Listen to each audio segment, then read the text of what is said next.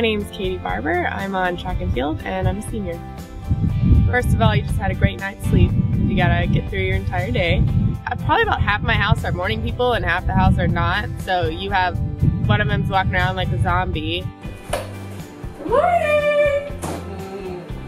So up nice and early, gotta get big old breakfast. Cereal, like yogurt and granola, it's like one of my favorites. Um, yeah, cereals. But I try to have breakfast with some of the girls and I gotta make it out of the house by 7.45 to get to my 8 a.m. class you know, everyone kind of has that idea, and maybe teachers do too, of like, oh, athlete, you know, they're not smart. But I think we really try to show the campus and professors that, like, you know, we're here to learn and be an athlete. We're going to sit up front. We're going to pay attention. You know, so we try to give ourselves a good rep and represent ourselves in a good way.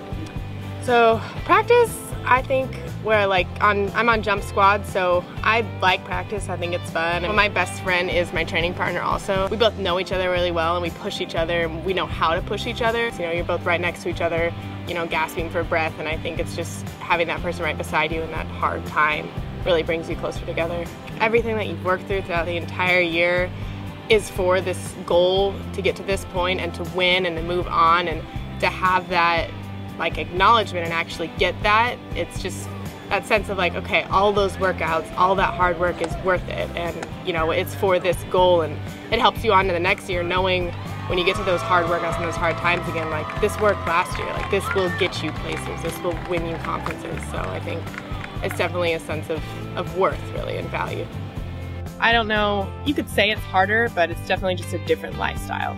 I love being an athlete. I love telling people I'm an athlete for UC Davis. Like, love saying I'm an Aggie and finding fellow Aggies. Like, there's just that sense of camaraderie and like, I love it. It's so, it's fun.